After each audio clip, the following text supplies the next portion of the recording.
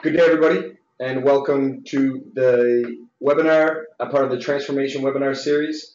And uh, Steve Waddell will be our host today. I'm David Oram, uh, hosting from Montreal hub of Future Earth. Uh, welcome, everybody, and we'll pass it over to Steve to begin the webinar. Thanks. Thanks so much, David. Um, I'm your host. This has been hosted by the SDG Transformation Forum, and we're looking at the issue of funding today. And there are a couple of uh, distinct issues of funding with the transformation uh, issue and the SDGs. Um, one of them is that the funders themselves have their own challenges. Um, it's not simply we want money and give us money, please. It's about how do the funders uh, work in this arena of uh, getting money and building the infrastructure because they've got their own transformation challenge about how uh, to mobilize capital as well as provide it. So this is what the um, one aspect the webinar is focused on today. Um, another aspect is simply, of course, familiarizing ourselves with what they are uh, have already mobilized. But uh, so keep in mind that they have their own uh, transformation challenges. Uh, we have three great uh, presenters today. Uh, we have Benjamin Bellegy, who's with WINGS, the Worldwide Initiative for Grantmakers Support, in Sao Paulo, I believe you are, no, Benjamin, today? And yes. we have Marco Neto, who is not uh, online in terms of the uh, webcams today because he's also happens to be in uh, Brazil today, but he's uh, got bandwidth issues. So rather than um, stretch the bandwidth, uh, we thought that um, he would uh, not use his webcam. And he's with, with UNDP. He's been working with the SDG Philanthropic Forum to develop that with uh, a large number of foundations. He'll tell us about that. And we have Erica Key, who, Erica, you're, for some reason, I think you're in Illinois somewhere. Is that, is that right? I'm um, in New Orleans. Or somewhere. New Orleans. Oh, New Orleans. Okay. okay.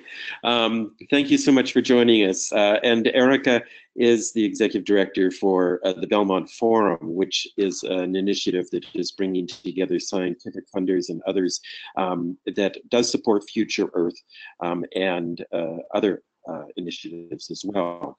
So uh, we, we're going to investigate these issues, first of all, with uh, Benjamin. Uh, Benjamin, if you can tell us something about WINGS and what you're doing uh, to develop this, uh, this financing infrastructure for transformation. Thanks so much. Please go ahead. Thank you. Thank you very much. Uh, thank you, Steve, for inviting us to speak on this important issue.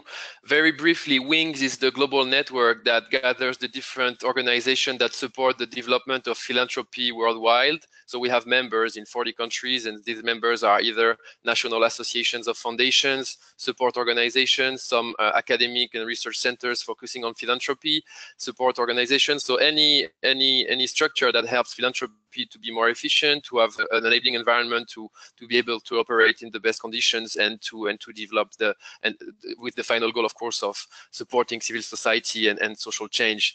Um, so the, the question is a very very complex and very wide question. Uh, so just just as a reminder, I think that the the estimated number, the estimated amount to to fund the SDGs is uh, 3.5 trillion dollars per year, uh, which is of an amount that either the bilateral or multilateral agency cannot uh, cover alone. So that's very naturally that the, the question of how to tap in the potential of philanthropy and, and private resources for, for development and for public good uh, uh is, is, uh, is crucial. Uh, um, and there is indeed an unleashed potential. But uh, as a start in this conversation, I want also to emphasize on the fact that the amounts of the volumes of, of, funding that are available in the philanthropic sector, uh, even if they have to be and they can be developed, and I'm going to talk about that, uh, are never going to fill entirely this gap.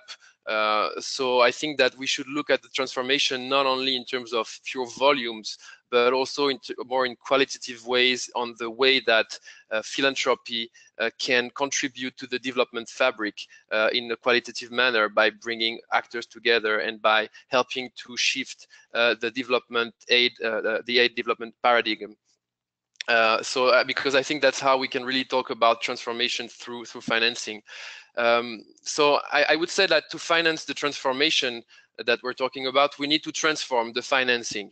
And uh, uh, uh, why do we need to transform the financing? I think that there is there is really a need to change the paradigm of uh, development aid uh, uh, and calling because we had the discussion around the SDGs around the last humanitarian World Humanitarian Summit and the recent debates in the NGO sector at the international level, and we see that there is a need to have more space for uh, business and for new actors like philanthropy and business, but we also need to have more space for collaboration, intersectoral collaboration between the different kinds of actors. And uh, Marcos Neto will talk about that for sure.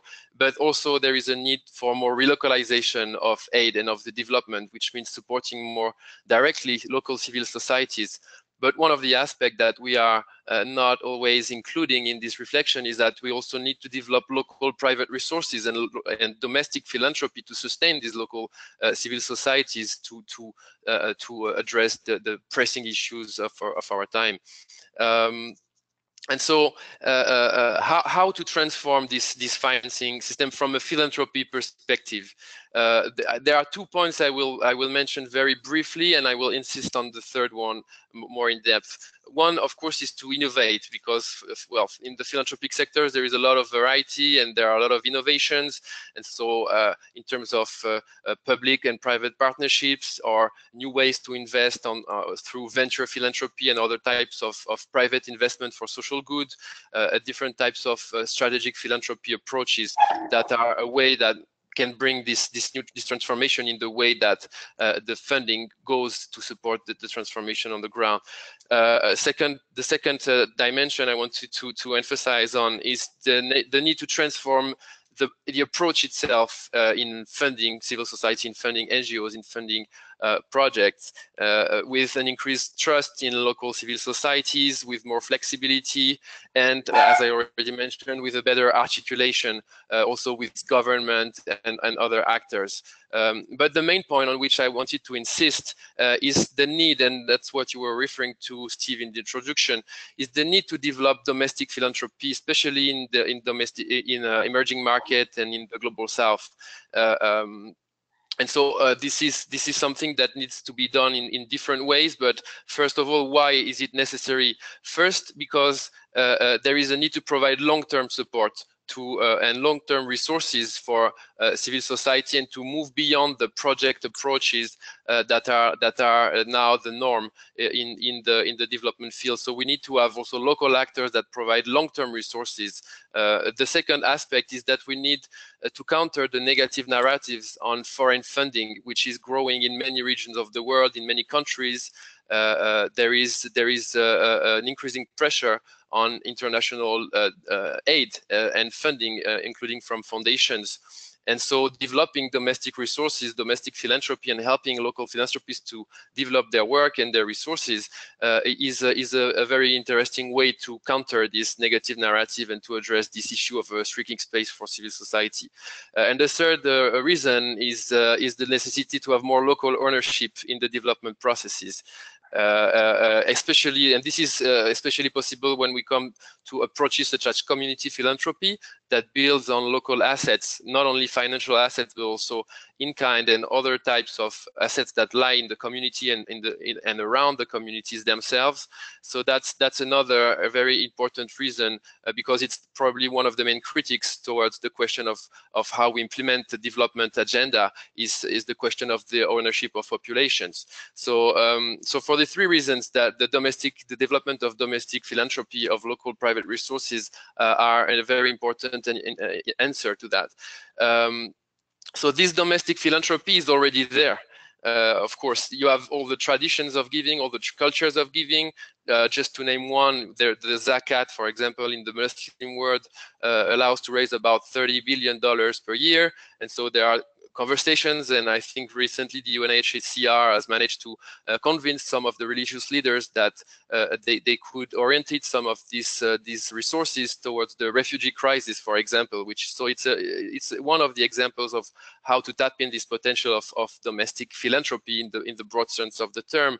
But there are of course a, a high number of of and a growing number of high net worth individuals in the in emerging markets in particular, and we see that new important foundations are being created, such as, for example, the projects of the Azim Premji uh, Foundation and philanthropic initiatives in India. And of course, there is a, a, middle class that is growing very fastly and that has the resources that are not yet maybe fully uh, uh, uh used and available for, for funding and supporting the social change and the transformation that we are, we're seeking through the, the 2013 agenda. Uh, but this very uh, important potential still needs to be developed both in terms of volumes and also in terms of efficiency and of uh, of quality in a way uh, how to how to use all these resources more efficiently and how to grow these resources because we know that a lot could be uh, a lot more could be done to support the the, the agenda. And, and, so that's where and that's where I want to insist and where I will conclude. It's the question of how we build the ecosystem and the infrastructure that help philanthropy to, to grow and to thrive and to play fully its role in, in addressing these issues. And um, and we have found out that despite the very high, uh, fast growth of economies and fast growth of philanthropy in in uh, in many regions, there is a big gap in terms of infrastructure, in terms of ecosystem, which are all these organizations I mentioned in the beginning of my presentation that create the conditions for philanthropy to to develop and to be efficient. Uh, there is a big gap, and for example, in the last report that Wings has published this year, we saw that 80% of the expenditures of all the amounts that are invested in philanthropy uh, ecosystem are spent in North America, and only 5% are spent in Asia or in the MENA region altogether. So that shows that there is a very important need to invest in these uh, ecosystems to strengthen domestic philanthropy. Um, and so uh, uh, I, I, will not detail now. I think I'm going to be over time. Otherwise, uh, exactly what are the different functions because I'm happy to discuss with the audience afterwards. But very briefly, I mentioned the National Association of Foundations, research centers, and others what can they do? They can advocate uh, to have tax incentives. They can advocate to have a better environment to be able to operate. Uh, they can strengthen and train philanthropies to be to invest more more strategically strategically their resources and so on. So that's why we believe that it's absolutely crucial for uh, development funders, whether they are foundations or they are multilateral agency or they are other kinds of funders of development, it is crucial that they invest in the philanthropy infrastructure in the countries and in the regions where they are uh, implementing their their uh, their agenda and their projects to achieve the sustainable development goals. Uh, and uh, this is valuable both for civil society and for philanthropy infrastructure. We need we need to include that uh, uh, more organically and more transversally in all the development approaches. I think for for funders. And uh, Wings is, of course, involved in uh, in helping this to happen. And I'm happy to discuss with you a bit more on, on what we can do uh, to go in this direction. Thank you. Thanks so much, Benjamin. Um, very helpful. Um, so I want to just point out that the SDG Transformation Forum uh, aspires to work with people like Benjamin and the others uh, lead discussants we have today to be able to support their uh, aspirations for the transformations they're working for. So uh, if you have any ideas about how we might do that or how you might do that that you might like to explore, um, I'd invite you to put them in the question box but of course you can put in questions as well. And we can uh, develop some collaborations. For instance, uh, Benjamin's uh, laid out uh, a, a, a, strategy uh, for building this capacity, which requires research, requires some interventions um, and activities that would be done, could be done collaboratively between uh, the various um, stakeholders in the SDG Transformation Forum community. So thanks so much, Benjamin. I'm going to uh, turn off your webcam now, and we're going to uh, go to um, Marcos Neto. And Marcos, as I explained, does not have uh, sufficient bandwidth for actually uh, doing the putting coming on webcam, but Marcos is with the UNDP and he's been taking leadership in developing the SDG Transformation Forum. So, uh, Marcos, uh, tell us something about what you've been doing and what your uh, challenges are, and if you have any sort of thoughts to add about how the SDG Transformation forum as a community might help uh, you with your own uh, challenges here, uh, feel free to make suggestions. Thank you so much, Marcos. Thank you, everybody. I hope uh, you can hear me well. Um, and apologies for not being uh, visible. Um, but um, I'm on a holidays in a hotel outside Rio and not with a lot of bandwidth. Let me just start by framing a little bit here what are the challenges you know that we have and, and some of the jargons that you've heard in the last uh, two years you know um, things like from billions to trillions um, and from funding to financing. Um, i think the second one from funding funding to financing the sdg is particularly important you know. Um, our colleagues at unctad have actually put a price tag of 5 trillion us dollars every year uh, until 2030 for the SDGs to be, the cost of the SDGs to be implemented. We know that there is a gap of about $2.5 trillion. And last year we had the highest uh, year for, for international aid ever, and that was about $168 billion. So international aid, while relevant, it's a drop in the bucket in terms of financing the SDGs. Now, where is this going to come from?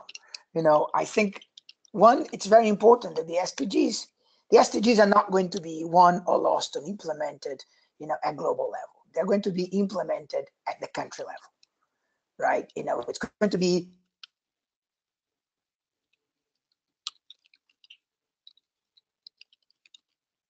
domestic uh, uh, development plans and the domestic policies uh, and in the domestic financing that will make the SDGs viable.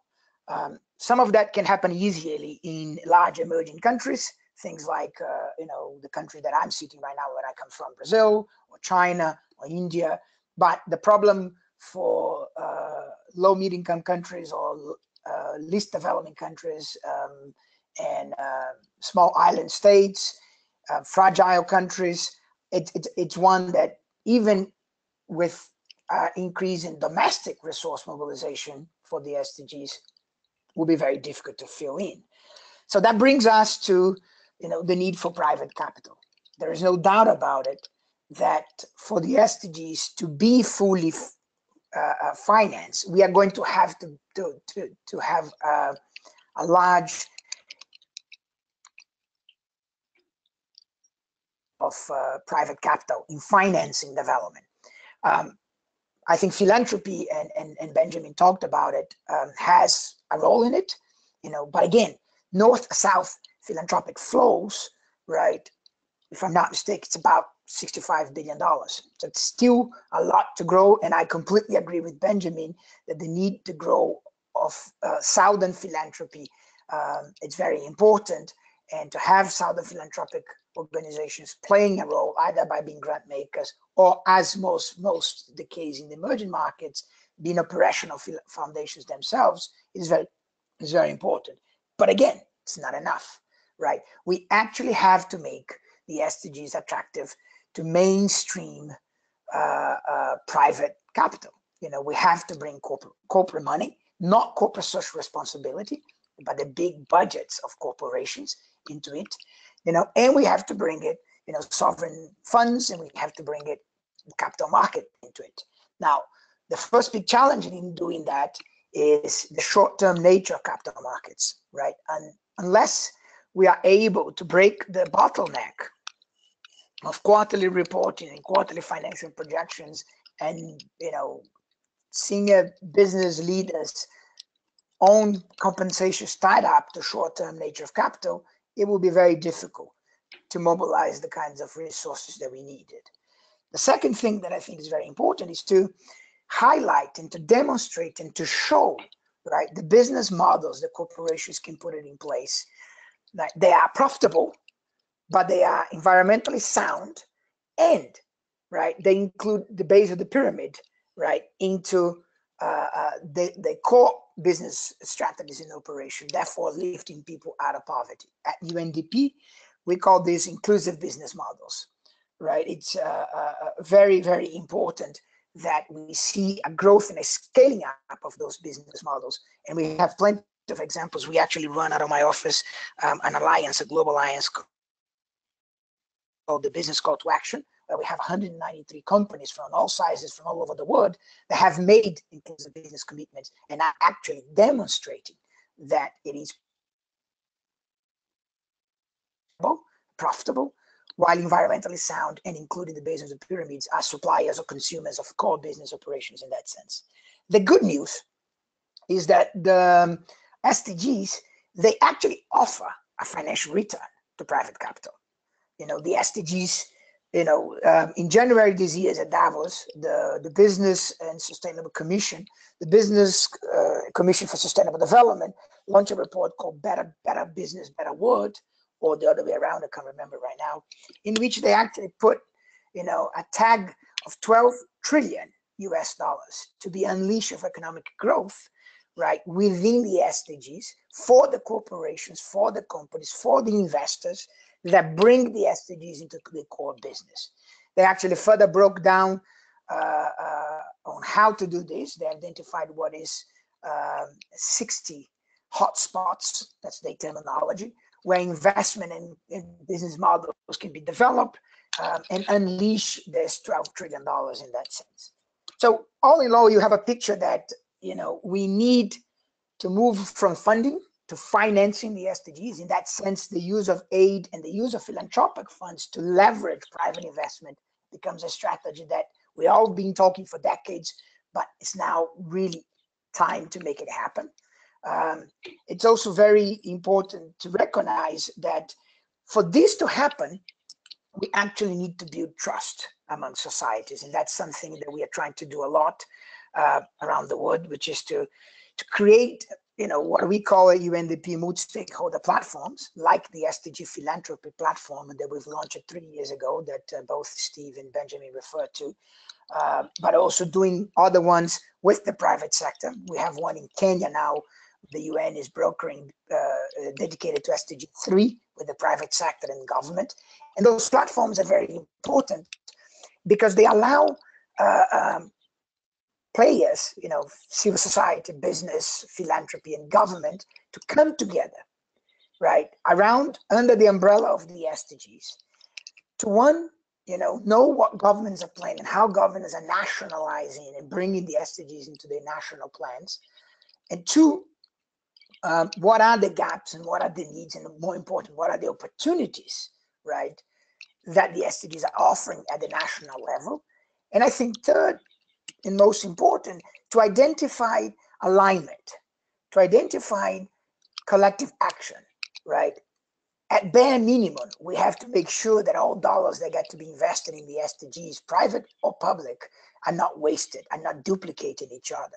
The only way you can do that is to make sure that players are aware of, of, of what others are doing it. They are allowed to make their own decisions as a foundation, as a business investment, but aware that their decisions are linked to a larger ecosystem, to a larger plan, and how does those things align uh, in that sense? And I think in the end, to generate collective action, right? Uh, collective action does not necessarily mean that you know Foundation A gives money to UNDP, but at least that we are all kind of in the same boat rowing towards the same destination eh, uh, you know and, the, and, that destination is the sdg the sdgs a last important point on this which we are also working on is all of that has to be properly measured.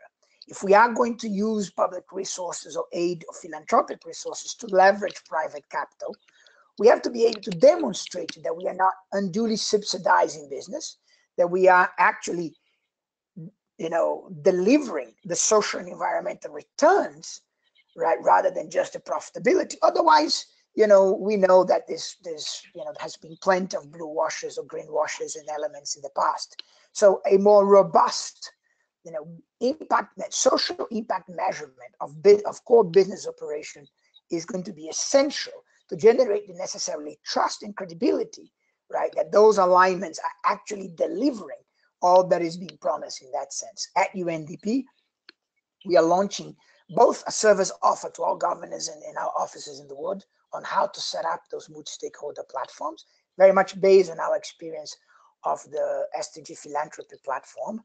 Um, we are actually also expanding our social impact measurement for business, you know, so we can, you know, provide that robust uh, uh, accountability mechanism, if you want, that this is not a blue wash, but rather, you know, um, a, a valuable effort to align all capitals so we can actually reach the trillions necessary and move from funding discrete projects to a financing of an overall plan right towards the SDGs.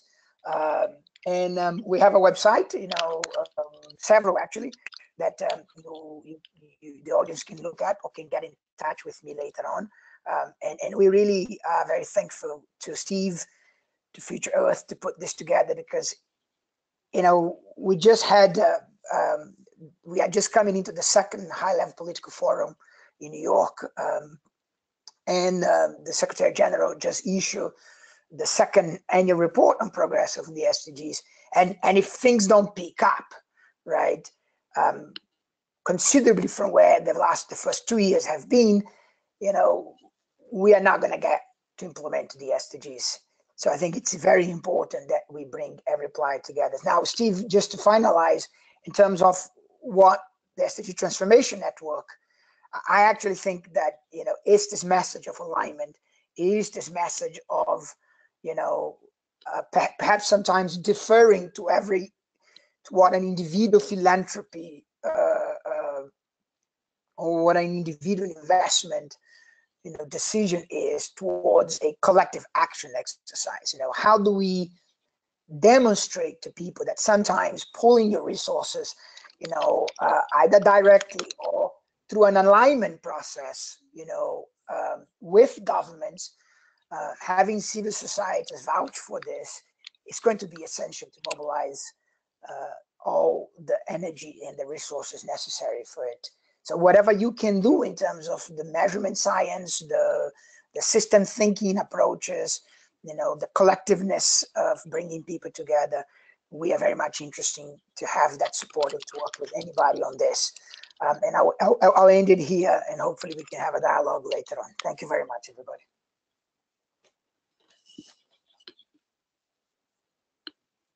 Thanks so much, uh, Marcos. Um, great uh, to hear all of this system from uh, funding to uh, financing, a, a, nice short way to summarize it. Uh, we're now going to move on to um, Erica, who is Erica Key, who's with the um, Belmont Forum. And Erica has uh, been involved in the development of the Belmont Forum strategy, of course, as executive director. And uh, she's going to tell us something about that and the way that they're approaching uh, these needs for financing the types of activities that um, are represented by Future Earth and others. Um, Erica, would you like to join us uh, and uh, you can have uh, control of the um, slides so that you can present your slides, which I understand you have some of as well. Yes, thank you, Steve. Uh, can you see the slides? No, not yet. Okay. Let's see. David, can you help us out here?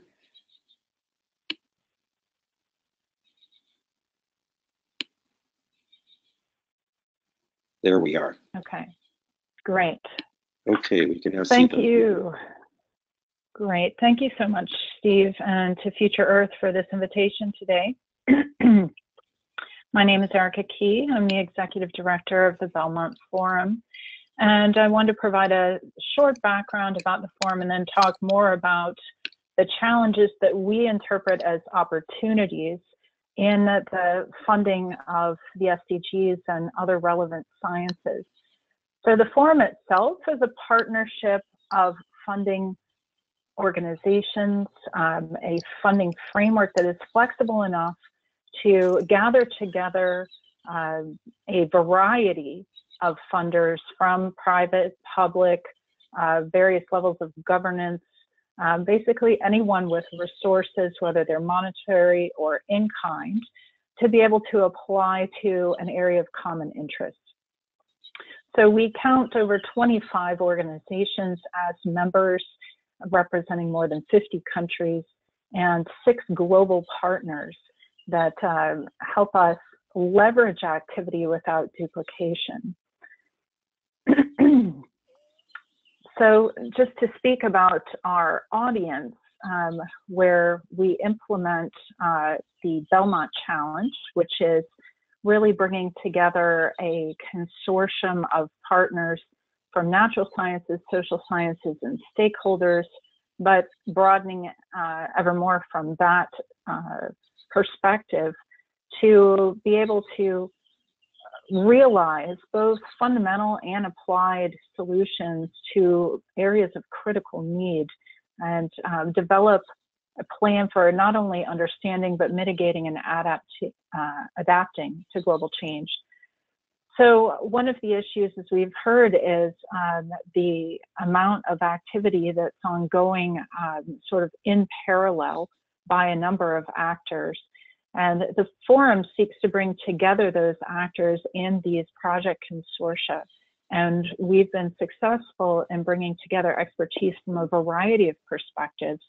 So uh, the conversation moves outside of academia or outside of a um, purely um, development or um, small business or industrial perspective so we bring the museums, natural research institutions, mixed units, public-private partnerships, industry, even the military together with tribal governments and policymakers, UN organizations and workers unions. I mean, it's really stakeholder writ large here.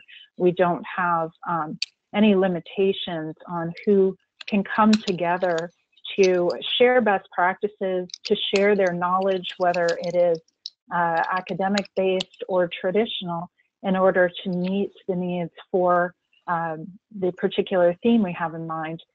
Uh, we've been able to find a nexus of interest around several themes to date, um, though we are now embarking on an effort to address all the SDGs at once, uh, science for the SDGs, and that is in development currently.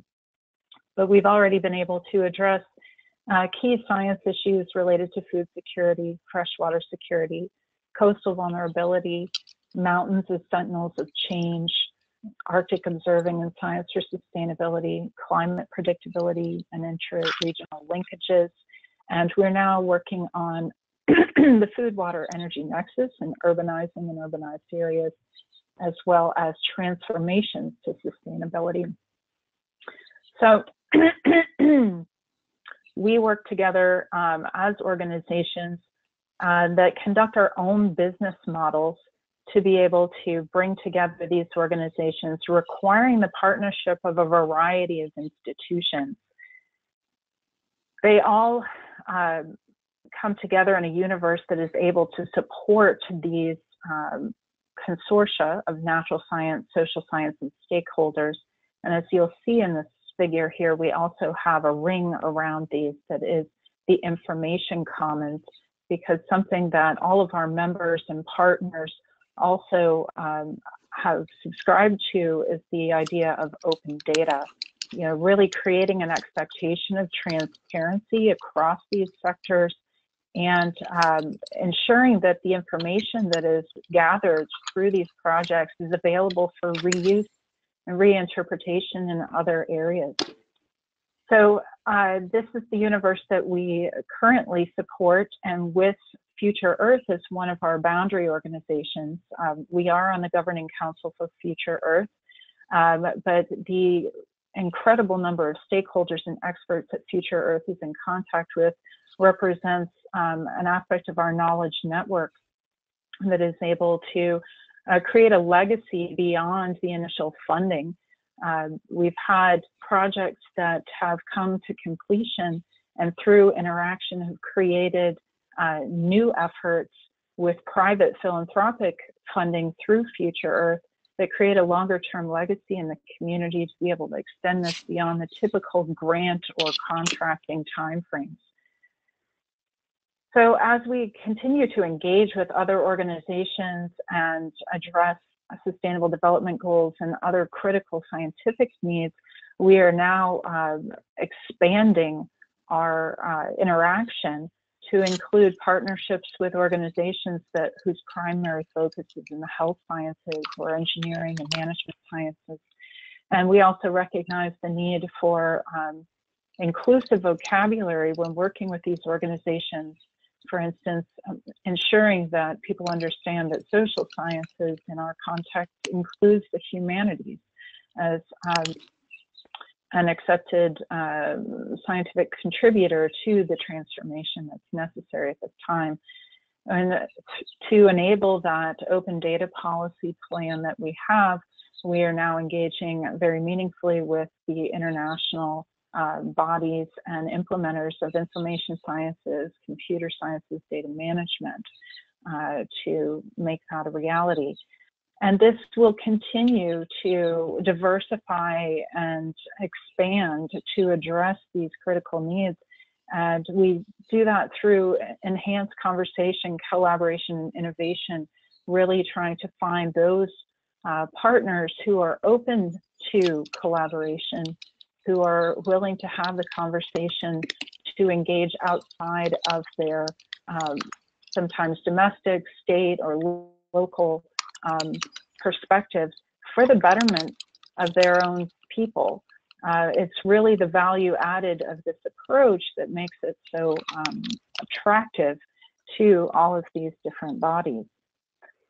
So to realize this, we have what we call the virtual pot, and it's made up of a number of contributions that do not necessarily cross national bounds unless that's the mandate of the organization. And I think this pot is what makes us attractive to some organizations. What we are doing is essentially um, aligning the interests without prescription and without requiring organizations to work outside of their typical business model. Um, we are synchronizing contemporaneous funding across national boundaries. So even a small contribution by a developing economy could see leverage of 20 times over for their contribution into a project to uh, support their own personnel or their own academics or stakeholders.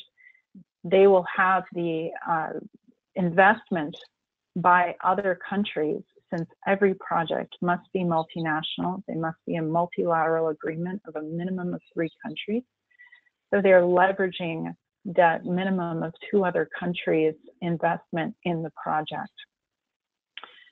Large investments, such as um, are put forward by the European Commission or large federal agencies, they can be synced into this process because our timing is flexible we don't require calls for proposals to go out at a specific time.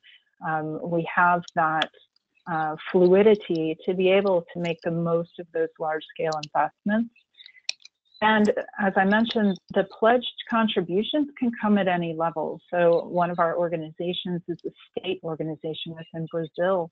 Um, we can partner with uh, consortia of industry or with a small business it's really about the development of what we call an organizational annex that allows each um, investor in a call to explain their interest in the umbrella theme, to discuss the eligibility for those resources, uh, provide a programmatic contact, and um, communicate to their audience this opportunity um, there's very low administrative overhead in this scenario, so we do not impose a burden upon organizations that would be joining us in a call.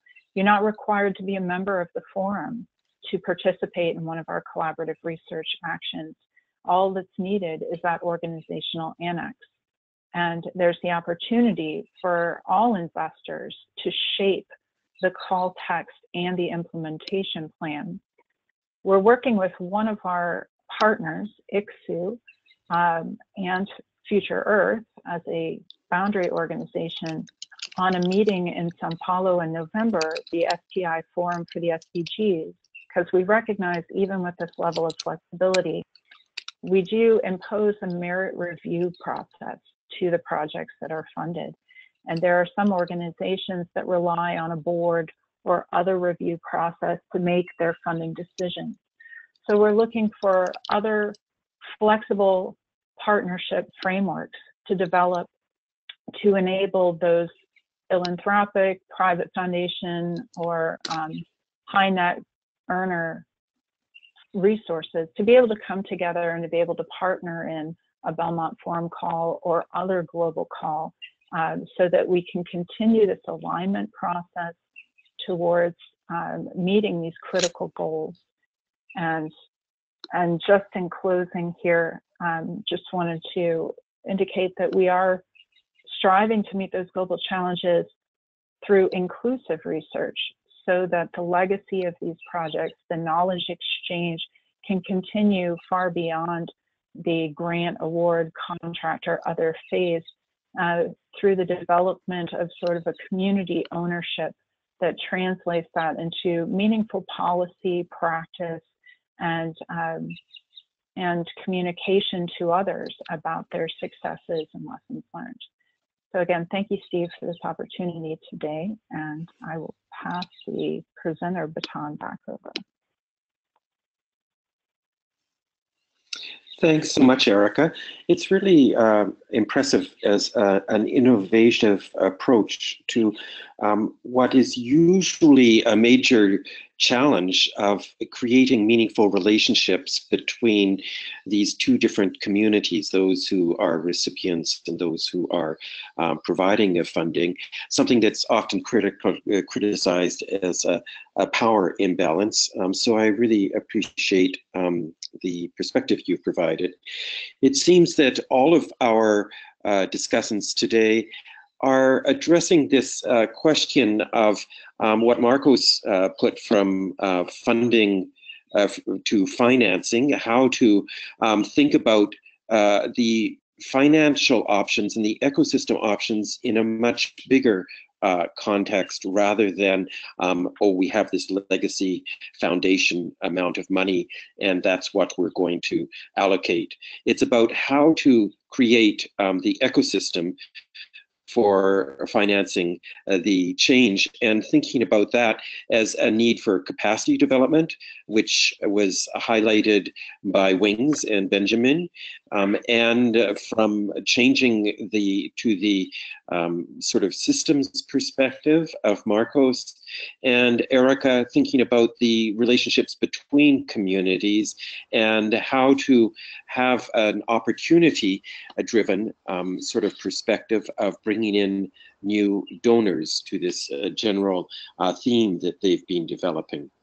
I'd like to uh, invite others in the uh, participants here to bring up their own um, thoughts or uh, opportunities. It seems to me that there's an enormous amount of uh, a need here for these innovative approaches uh, in terms of some action research that could be done since they all value multi-stakeholder engagement and on-the-ground action um, and different ways for being able to uh, develop uh, these um, uh, approaches with a concerted uh, sort of disciplined research approach. I'm thinking of uh, the different national fora that uh, Marcos talked about, it would be very valuable to have some uh, some comparisons uh, about those fora and how to develop them and integrate some leading knowledge about partnerships across these types of um, uh, complex uh, domains that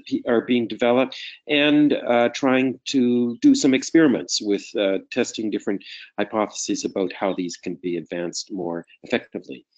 So um, moving on to uh, people in our audience, if you would like to um, share a question or some uh, thoughts, uh, you can um, indicate in the uh, question box under uh, the uh, on the left-hand side of your screen. Um, let's uh, try, Lydia, you had a question um, that you were looking for some more information from Marcos, I believe. Lydia, if you'd like to light up your own microphone, um, we can let you um, ask your question directly if you would like to do that. Lydia, can you, let's see. Can you try using your microphone? Are you able to hear me? Yes, Hello? we can. Please go ahead. Okay, good afternoon. Uh, when Marcos was the, uh, sharing with us on the way forward on uh, how we gonna go forward on the SDGs, he mentioned that he would share with us some websites where we can be able to get uh, more information on what they're working on as UNDP. Sure. Okay, Um, thank you. glad you could share with us so that we can take it up from there. It- it's Steve, if I write on the chat, if I write to the websites on the chat, will everybody see? They will indeed. Okay, So I will do that. So it's much easier. It's a series of websites. So I'm, I'm, I'm gonna put it out there and, um, and people can see. okay, thank you. Okay, thank you. Uh, one more thing I wanted to find out is um, we are trying to look for funding for women economic empowerment and eradication of uh, poverty in East African region. And this will require us to have $2.5 million for a project that is going to run for three years. Uh, is there a way this can be directly funded under the Future Earth project? And how can we get funding for this?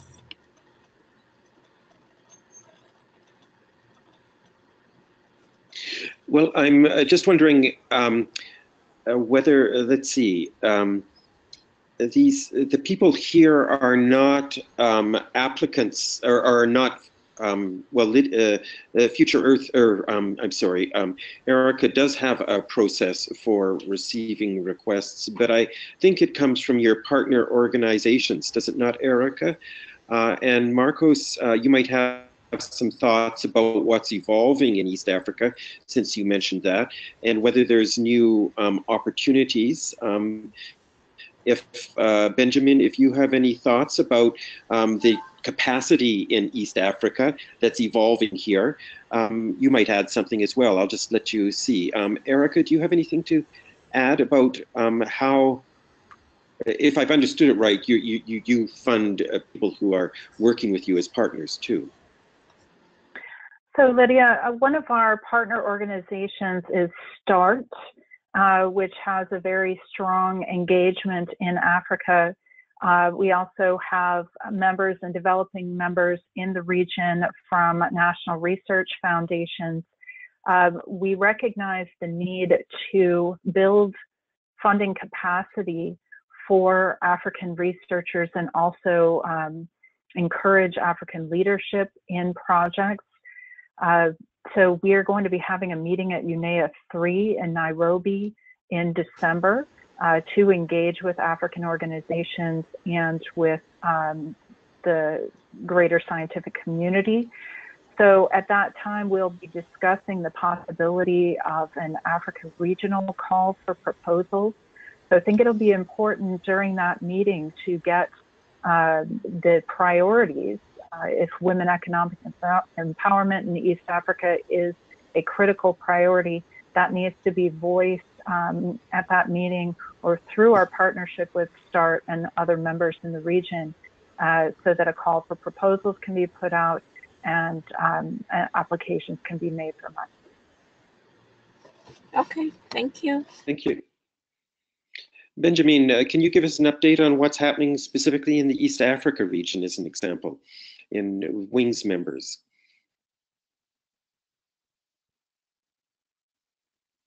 Whoops, we've got to get your audio going, Benjamin. Uh, Sorry, can yeah, you hear me now? okay. Yeah. Well, no, I, I, I mean, it's uh, Yes, it's a, it's a bit a specific question, so I, I I'm not really able to answer. But what I can say is that yes, in East Africa there is a, a very lively uh, domestic philanthropy sector, in particular from the community philanthropy field. Uh, and well, there are organizations such as the Kenya Community Development Foundation who play this role of uh, uh gathering local uh, uh, resources and, and and and trying to pool that to support communities. Uh, uh, whether it's well there are some funds coming from outside some funds coming from the national level and also communities uh, communities funds also so the KCDF is an interesting example of uh, support organization in, in, Kenya, and there are other. And I know that the sector is developing, and it's also, I think, uh, if I, am not mistaken, uh, one of the countries where there is a SDG philanthropy platform. But then for a specific project, I think it would require to have a, a specific research on who are the potential funders for that. Marcos, I'm wondering if you might um, give us more of an idea exactly what's happening with the SDG uh, platform in uh, East Africa to take this opportunity from Lydia's question to understand how you're going about developing the platform in East Africa. Um, how do you bring it together? How does it, who does it involve? Um, what is sort of direction is it taking? Sure. So we have a, we have a SDG philanthropy platforms about 10 countries around the world in our continents. Um, in East Africa, we have it in Kenya. It's actually the oldest running one. The process is very simple, right? We um, we use the, the United Nations um, convening capacity, right? Uh, which I think uh, when it comes down to convening around the SDGs, I think the UN has a tremendous amount of credibility as well as a reputation to be an event convener. So what are we doing is we we've developed a series of uh, tools, you know, mapping tools and um, you know uh, workshop development tools where you actually map all philanthropic um, um, organizations in Kenya. You've mapped what they do. You've mapped the government is doing vis-a-vis the SDGs. Um, and then you're starting to bring people together to see the results of those mapping exercises. Um, our experiences is a continuous process, a systematic and permanent process of convening around the specifically mappings or specifically thematic exercises um, builds trust. So for example, right now the government of Kenya has actually recognized the value of philanthropy and actually has allowed philanthropy to be recognized as a stakeholder in its SDG implementation. Uh, the Kenya Philanthropy Forum was created, was a spun out as this dialogue that we created uh, um, and we still manage in Kenya. And now, and now, two years later, what we starting to see is a series of collective actions. So different players, philanthropy and uh, and government and, and and business coming together. You know, either to you know created a sub platform, if you want, to advance early childhood development in Kenya and that includes both project level as well as policy work, or to create a specific set of interventions in policy in the Turkana district in Kenya. So all of those things were spur 18 months on and 24 months on from this general dialogue um, that was created in a permanent basis. Those platforms are also serving as accelerating processes. So for example, in Ghana, where we have one, um, the global uh, platform for education, which is not run by UNDP, I think it's called that, but the Global Education Fund or something like that, they decided that they want to invest in Kenya. They want to enter Kenya. Um, so they approached us by saying, look, rather than trying to figure out what is going on in education in Kenya, you have a platform in place. Would you please please do one of your mappings specifically on the um, education sector? You know, and then help us with a couple of convenings to try to generate a consensus and alignment on education. So when we come into Kenya, we are able to decide where to put our resources that is aligned and complementary with what is going on at national level. Those are all exactly the hypothesis what we had three years ago when we created the SDG philanthropy platform to, to provide those functions, to spur those functions. Now, just to be very clear, the platform is not a funding platform, right? Inside of the platform that I'm funding organizations, but the platform itself does not give funding um, beyond, you know, what we call catalytically small amount of monies to spur, you know, innovation around bringing people together. So as I said, this is what was going on in Kenya, in Ghana, we are in Zambia, we are in Colombia, Brazil, India, China, Indonesia, um, and I actually have um, a large number of countries um, asking for this me mechanism to be replicated, not just with philanthropy, but more and more with actually business and civil society at the same time.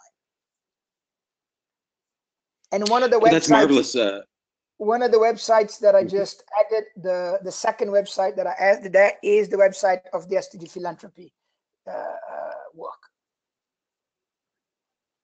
Marvelous. Um, so it strikes me, I can see, um, you know, part of the purpose of these webinars is to identify potential connections, uh, bringing about our own alignment. Um, I can see that uh, with uh, Benjamin, uh, it'd be great to get research centers connected more into Future Earth for example. And the um, with Marcos, it would be great for us to be able to um, get the uh, platforms, uh, the SDG national platforms involved in the SDG Transformation Forum.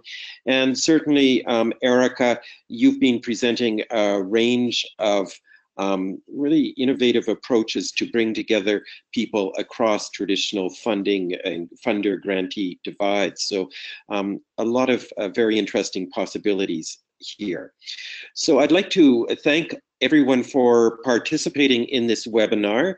And we will be having another webinar in um, next week.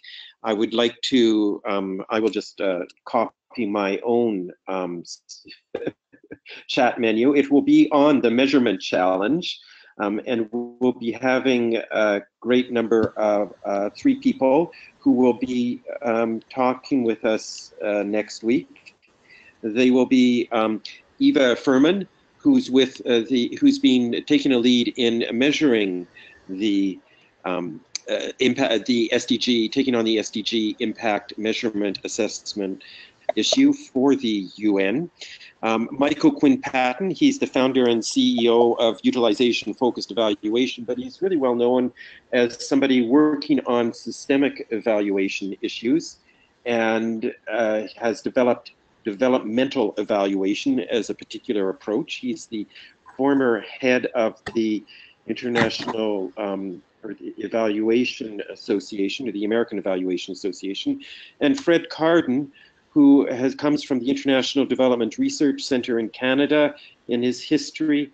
Uh, he's now working independently and has developed uh, the uh, particular tool methodology of outcome mapping, and he's been uh, known for very adventuresome approaches to uh, move from the traditional input output type of assessment, which is fine if you're working in products, but it just doesn't work very well with transformation. So join us next week, next Tuesday, um, June the 17th. Uh, of course, different uh, times in different locations, um, but we will be looking forward you to join us there. Um, David. Thanks, Steve. Uh, thanks everybody for joining. And we have two questions uh, we didn't get a chance uh, to get to. We're at the uh, bottom of the hour, so we'll record those and we'll get back to you via email. And thanks everybody for joining today. Uh, hope you have a great rest of your day and speak again soon. Thank you, everybody. Bye bye. Thank you very much. Thank you.